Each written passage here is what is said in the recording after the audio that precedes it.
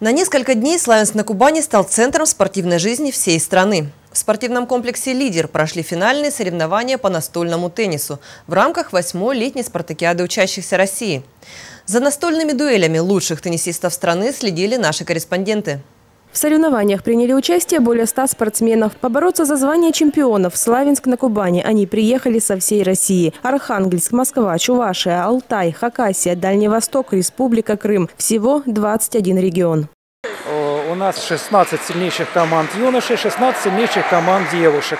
В настольном теннисе система проведения соревнований называется прогрессивная олимпийская система, когда все играют вроде по олимпийской системе, но каждый получает свое место. Пять игр Три игрока в команде, они там хитро переставляются. Как только какая-то команда наберет три выигрыша, она проходит дальше. А проигравшая начинает играть за более низкое место.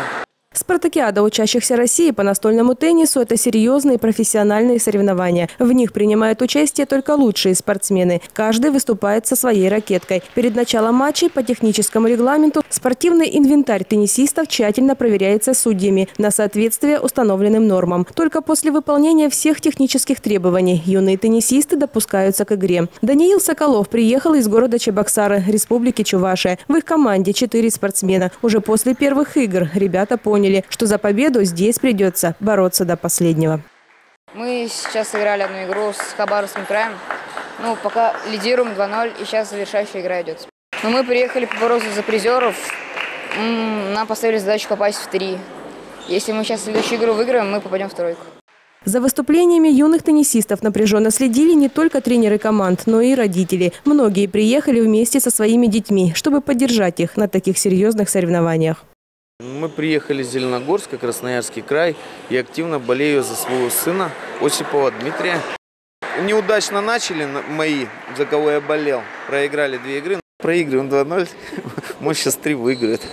Соревнования проходили в течение двух дней. В первой половине дня играли мужские сборные, после обеда – женские. Нина Мальченко – тренер женской сборной по настольному теннису Хабаровского края. Ее подопечные стали победителями всего дальневосточного региона и теперь тоже приехали побеждать. Настрой у нас хороший. А, ну, мы уже не первый раз на России выступаем, и уже дети знают а, накал, ну, то есть э, у нас сложности есть определенные, потому что мы находимся далеко от центра, там акклиматизация идет, но дети уже более-менее подготовлены, и они учатся вот справляться вот с эмоциями. Главное, чтобы они игру свою показали, у нас стоит задача, чтобы они показали а, то, что могут. Спортсменки из Хабаровского края на Кубани в первый раз. Наш город гостям с Дальнего Востока запомнится гостеприимством, фруктами, жарким солнцем, а сами соревнования – хорошей организацией. Зал очень хороший, потому что профессионально чувствуется, что покрытие хорошее, а свет очень хороший, кондиционер работает и ну, очень комфортные условия для игры. И ну, поселили нас, конечно, в шикарных условиях. Дети довольны, Честь Краснодарского края в составе сборной защищал наш земляк, учащийся 18-й школы Руслан Черкес. Настольным теннисом он занимается уже больше шести лет. На сегодняшний день Руслан – чемпион Южного федерального округа, серебряный призер первенства России. Возможность играть за сборную края – это большая ответственность, поэтому без волнения перед матчем не обошлось. Играли с Московской области, но первые игры все время на мадраже. Ну, выступили как бы не очень первые, но выиграли 3-0 будем играть сейчас с Нижним Новгородом.